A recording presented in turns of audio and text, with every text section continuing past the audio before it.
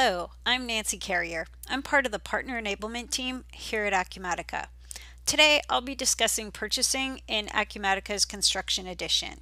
We'll start with a purchase request that is submitted to purchasing. Purchasing will turn it into a requisition and if approved, the requisition will become a purchase order. We'll receive the goods and create an AP vendor bill. Let's start at the beginning with purchase requests. From the Purchases workspace, I'm going to go over to this tile and click on New Purchase Request. I'll be using an example of a field employee entering a request. Requests are entered by an employee to request goods and materials. Requests can then be routed for approval. The purchasing department takes over from there. Let's enter a request. This employee is requesting materials for a job so I'm leaving the request class field set at customer. This is being requested by a customer called the equity group. So I'm going to select the equity group investors. And down here, I'm going to put in a description of materials for job 1002 Hotel. Down here in the document details area, this is where the employee will enter the products that are being requested. When I click on this hourglass, you can do a search of all products. You'll see that a list is being displayed. This is an optional configuration you can set up requests so that an employee just enters a general description of what they want, or you can do something more like this, provide a drop-down list. If you know the vendors and products that you typically buy, maybe you have agreements with some of them, or you just know which vendors will give you the best price and the best service, you can create these lists and employees will only be able to request what is on this list. Let's say the employee selects uh, these edge forms and enters a quantity. Over here to the right, we have a field for required date. This is the date that the requester would like to have these items at the job site. Right next to it is the promise date. This date is auto-calculated based on a user-defined lead time. You can build in some lead time for purchasing so that expectations are set right from the beginning. On the Shipping Instructions tab, you can specify where to deliver the goods. In this example, they're going to the customer. Each customer can have multiple addresses, so if you drop down the shipping location, you can select the correct address. You could also use the override button to change the ship to address. Right now my request is in the status of on hold. I'm going to take it off hold and now the status changes to open. Optionally, we could enforce electronic routing and approval of the request before it ever gets to the purchasing department. The request status is now open and this status tells the purchasing department that it's okay to go ahead with the purchase. The next step in the process is to create a requisition. A requisition is used by purchasing for several different things. It lets them assign a vendor, they can put a requisition through another approval process if necessary. And if the request is for a one-off item, maybe it's a very large purchase, they can even send out email requesting bids from various vendors.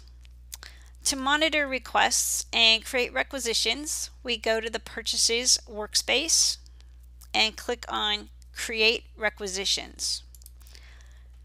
From here, I could create many requisitions at once.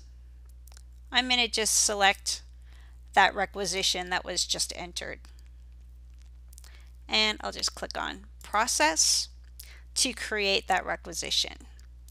Here's the requisition that was created, pulled in all the information from that request. I'm going to go ahead and take this off hold.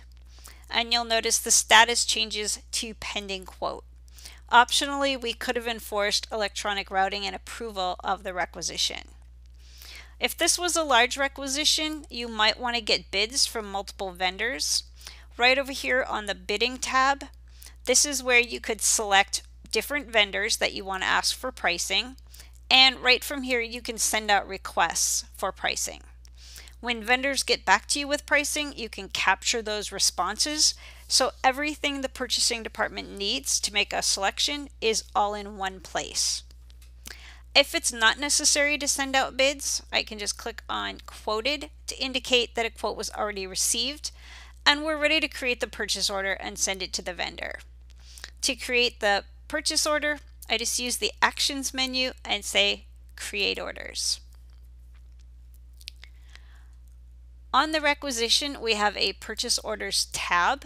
When I click on it, I can see the purchase order that was created. I can see that it's currently in a status of on hold. And right from here, I can drill down to the purchase order that was created. Since this is a purchase order for a job, we want to specify the project, the subjob, and the cost code. So I'm going to enter in my hotel job. And this is for concrete. So I'm going to pick subjob 3 and my cost code is 03100. As soon as I take this purchase order off hold, you'll notice the status changes to pending approval. This is because I'm enforcing approval of all purchase orders. In Acumatica, approvals are driven by approval maps. Approval maps let you set the rules and conditions for approvals. You can set an approval map based on the employee that entered the purchase order. It could be based on the dollar amount, could be based on the type of product being requested. And all your approvals will be auto-routed to the correct person. Authorized approvers can see that approvals are needed from the approvals menu or from a dashboard or even from the mobile app.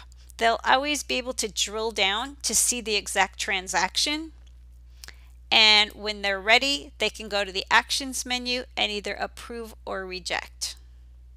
I'm going to go ahead and approve this purchase order. It's really easy to get this purchase order to the vendor. All I need to do is go to my actions menu and select email purchase order. This step can be eliminated by using an automation schedule that'll periodically send any emails that are ready to be sent. Right up here on the activities button, there is a one after it, just indicating there's one activity and that is the email that we just sent. When the order arrives at the job site, we might want to enter a note. Notes can be entered Right up here at the page level, notes can also be entered at the line level.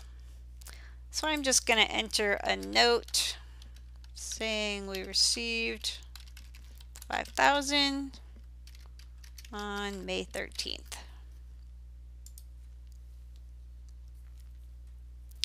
When the bill arrives, we can enter a vendor bill right here from the purchase order.